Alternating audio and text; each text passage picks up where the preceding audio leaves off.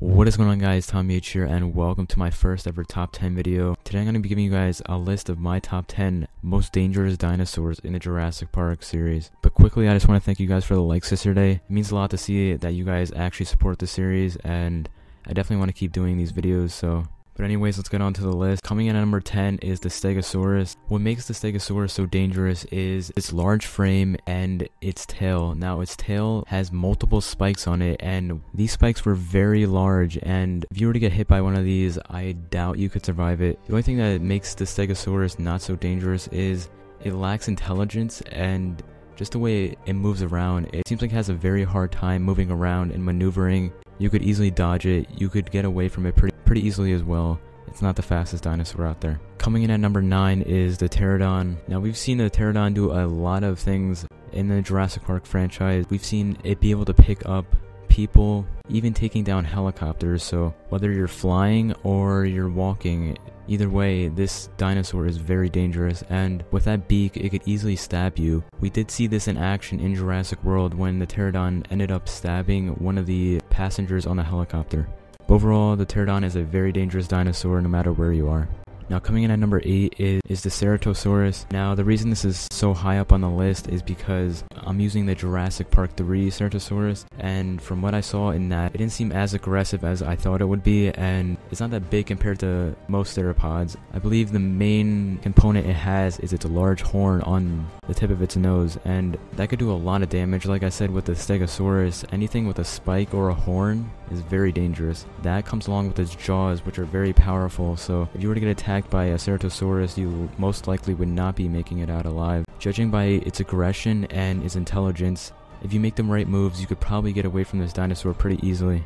Coming in at number 7 is the Triceratops. Now, the Triceratops is, is well known for being the one of the strongest herbivores out there, so has two very large horns on its head can obviously do a lot of damage even if you're in a car or your house. With its size and its strength and its speed, it could easily get through anything basically. It's basically a walking tank. And the Triceratops has been known to be able to do a lot of damage or even kill some T-Rexes, which is pretty rare, but still, it can do a lot of damage to T-Rexes, injuring them, just using its horns to its advantage.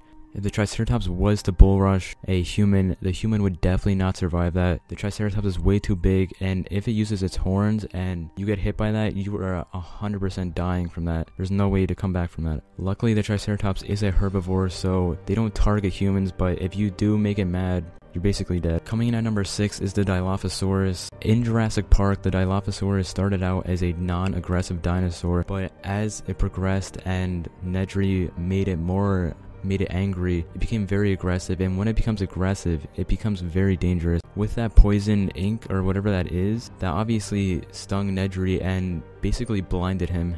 The poison ink that it shoots out seems to be blinding, so this could cause long-term damage even if it doesn't end up killing you, so that is very dangerous, and I don't think anyone would want to get near one of these dinosaurs. Coming in at number 5 is the T-Rex. Now, this is this is expected as the T-Rex is one of the largest dinosaurs in the Jurassic Park series, and seems like it's the most dangerous dinosaur to humans as when it does encounter humans, it does a lot of damage, it kills a lot of humans, and it is very powerful, and it could do damage to you even if you're in a car. As we saw in Jurassic Park, it flipped the car over. It basically acted like it was a toy, so Another thing the T-Rex has is its powerful jaws. If you get bit by a T-Rex, you are 100% dead. The one saving grace to this dinosaur is, in the Jurassic Park franchise at least, it doesn't seem to be the smartest of dinosaurs, and apparently staying still will cause the T-Rex to not see you, which is why they had to use the flare to get the T-Rex away. And they use that in Jurassic World as well. But if you just stay still or go hide, I don't think the T-Rex will be able to find you or kill you. Coming in at number 4 is the Spinosaurus. Now, like I said in yesterday's video, what makes the Spinosaurus scary, deadly, is the fact that it can swim and it can walk on land. No matter where you are, it can basically kill you. Now, Another thing it has is its long arms, unlike the T-Rex, so it can pick you up, it can throw you, and it could use its jaws to bite you and kill you eventually. So overall, the Spinosaurus is a tank, and and the only method we've seen from surviving a Spinosaurus attack is just to run and hide, basically. And that didn't even prove to be that successful because the Spinosaurus ended up breaking through that wall, so I feel is underrated as a dinosaur. Coming in at number 3 is the Mosasaur. And like I said in yesterday's video, the mosasaur is very dangerous and very scary. So if the mosasaur ends up spotting you in the water, you can basically guarantee death. When you're in the water, it has full control over you. It even if you're on a boat, like I said, even with a Spinosaurus, you're still basically dead. The mosasaur is very large, very powerful has very large jaws and a very powerful bite force, so just judging by what it did to the Indominus Rex, that alone just proves how deadly it is, and even to the strongest of dinosaurs out there, still very deadly. But the one thing is, it doesn't seem to do very well on land. It seems to be pretty easy to get away from, but if you are in the water, you kind of have to hope that it doesn't see you. Coming in at number 2 is the Indominus Rex. Now, the Indominus Rex was the first hybrid in Jurassic World. It proved to be one of the deadliest dinosaurs in the entire franchise. The Indominus Rex can camouflage, very powerful, very intelligent, very agile, and judging by what it did to the ACU soldiers and how it just dominated them, proves that it's very deadly it even dominated the T-Rex and the Velociraptor pack, so there was literally no way to get away from the Indominus Rex. Maybe going in the water could help you, but a lot of people have been saying that it does have cuttlefish DNA, so maybe it could swim to you. We just haven't seen it do that yet. Coming in at number coming in at number one is the Velociraptor. Now, uh, the reason I picked the Velociraptor for number one is it is about the same size as a human, so you are not safe anywhere except for the water.